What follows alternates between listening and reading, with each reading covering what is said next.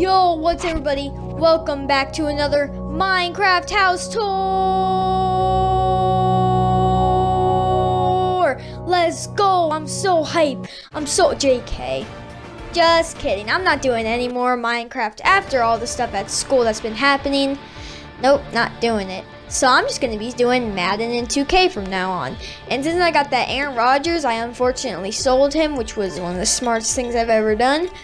I got like it may be seven overalls overall higher, which is like insane.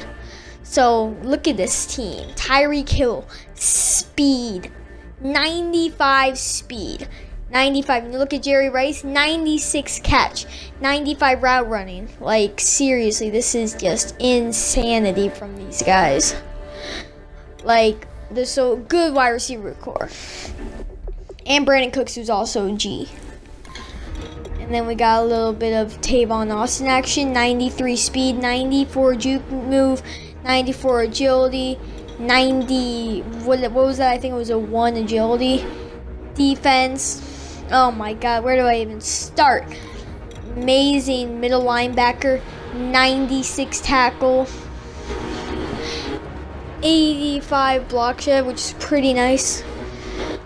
And then this um, free safety with a good 94 zone coverage, 92 man, and this guy gets a lot of picks, like a lot of picks. Darius Webb, like 76 catching, which is pretty nice.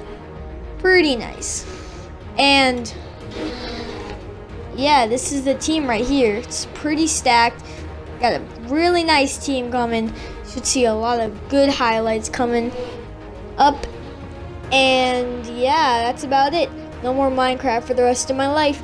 Make sure to leave a like, subscribe, comment, all that.